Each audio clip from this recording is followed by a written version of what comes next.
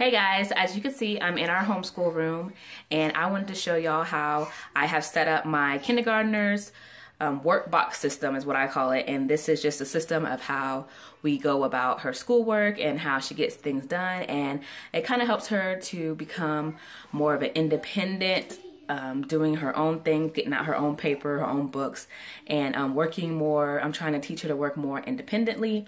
So I have set up this system.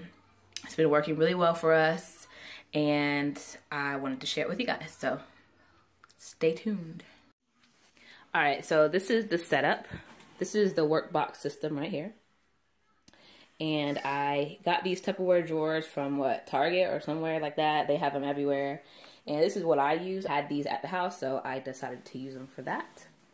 And um, this is the, a little corner of our room and this is where her table is. This is usually where she works and does sit down work and stuff. So um, she knows the routine. She knows the deal. She'll come over here and she will um, open box number one. Box number one is what we start our day off with after we do our calendar and stuff. We start it with Bible and this has a Bible verse on it and in it. And the Bible verse that we get from here is the same Bible verse that I put up on our chalkboard and that she does her copy work with. So we will go over the Bible verse and read the little story and thing that goes with it. Also, um, it has her calendar in here. We do calendar. I have a calendar on the wall, and that's when we sing our Days of the Week song and stuff, and that's what I do with other kids. But I also got this calendar at um, the Dollar Tree, and it's princesses. And so she will find the day that we're on and then she will copy the number. So this helps her to um, see what day of the week it is, see the number, and it reiterates all of that. And then she also gets to practice writing. So she likes to do that.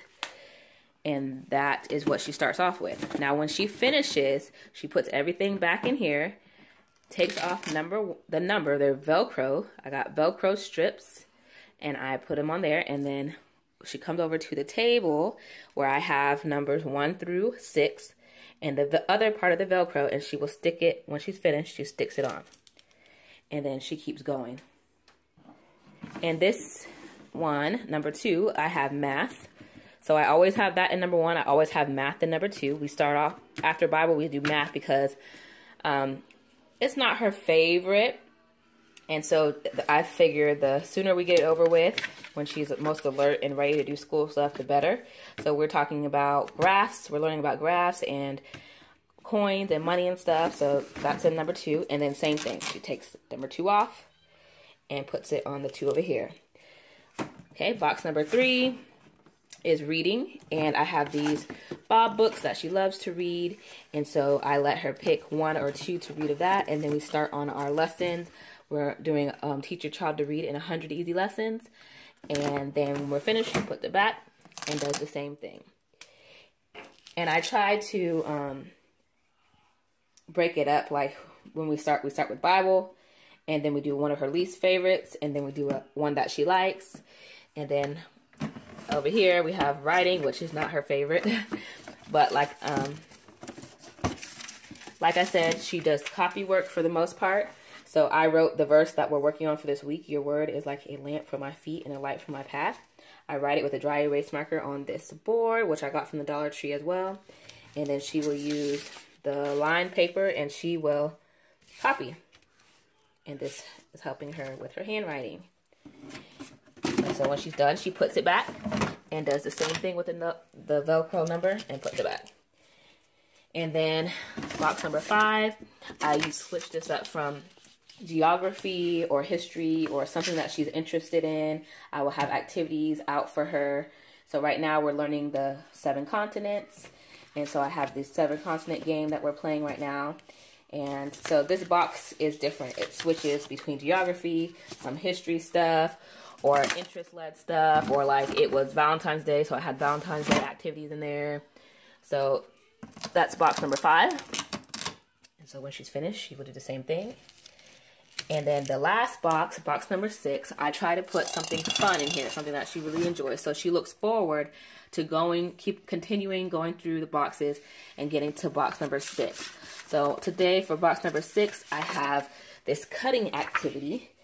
Um, and it's an activity where she's going to cut, practice her cutting skills to make a pizza. So she would cut out the pizza, and then she would cut out the pan, and she would cut out the toppings, which pepperoni and whatever is on there. And she can glue it together and have fun, and it's like an art activity, and she loves doing those things. And so that's box number six. That's the last box. And so when she's finished, same thing. And then she's done. And then every night, I will, sorry, focus it. Every night I will come and switch out the activities and put the numbers back.